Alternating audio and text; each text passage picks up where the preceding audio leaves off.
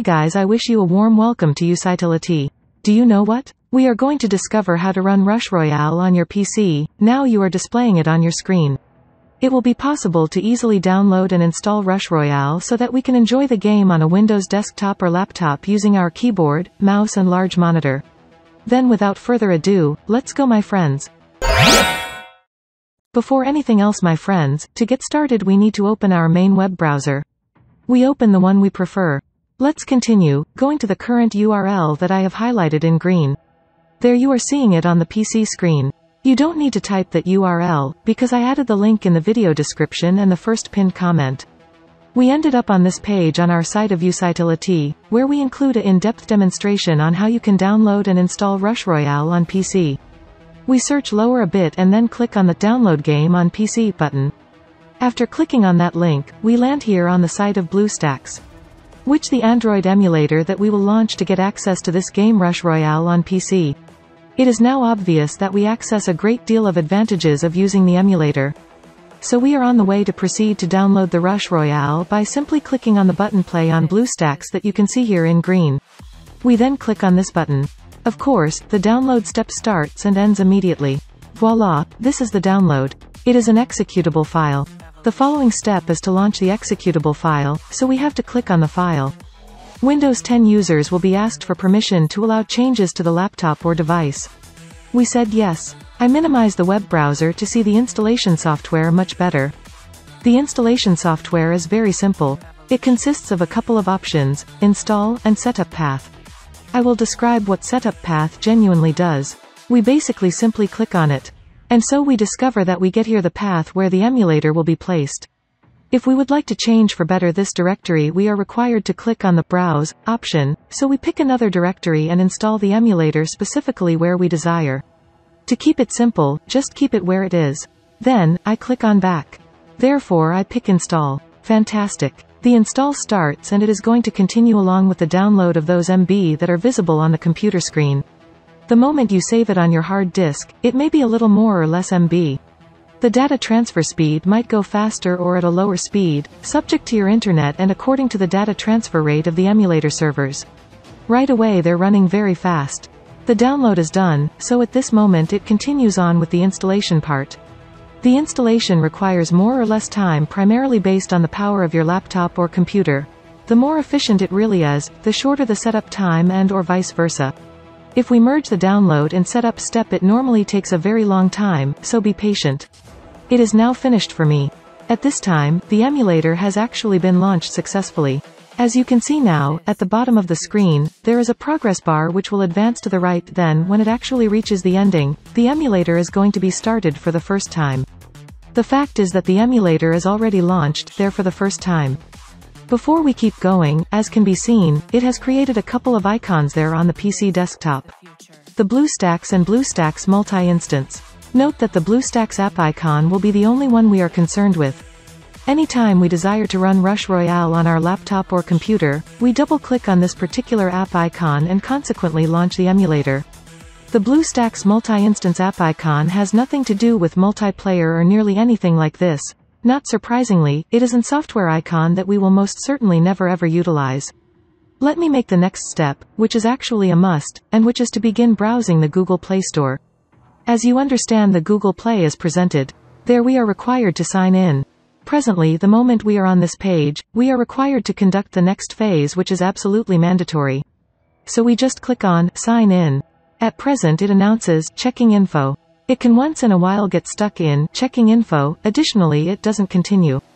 In this case, you should try to connect to your account after a few hours and it will surely most likely be sorted out. At present we shall type in our email address and password. The email address needs to be a Gmail email and its associated password. For example you can utilize the very same email address you are using at this time in your own YouTube account.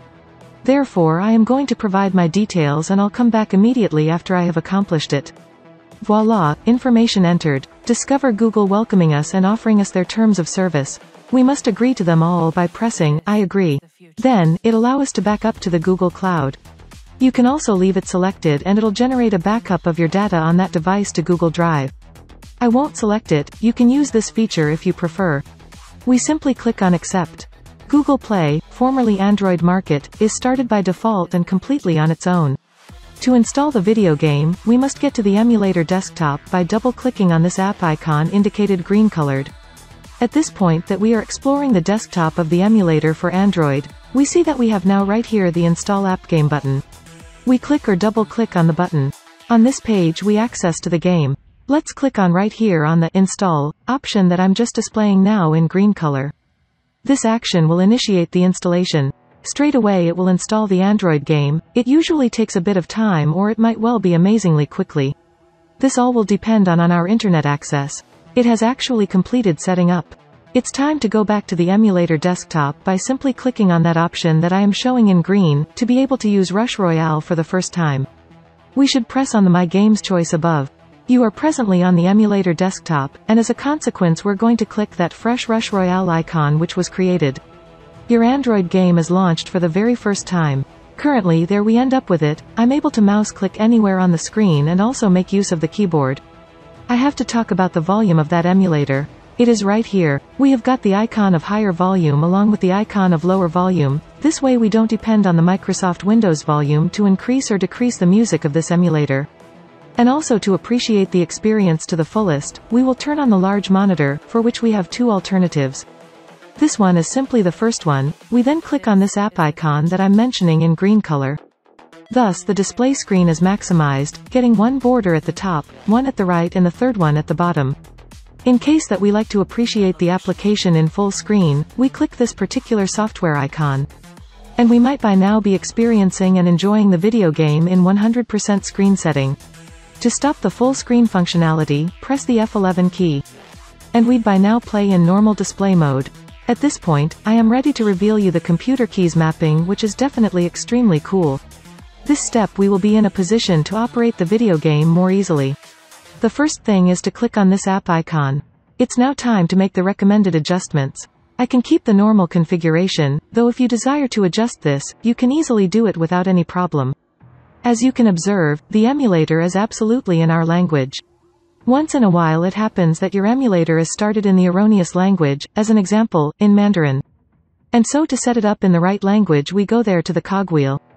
And thus right here within many other configurations, we click the language drop down. We may go with the language we like, German, Chinese, and so forth.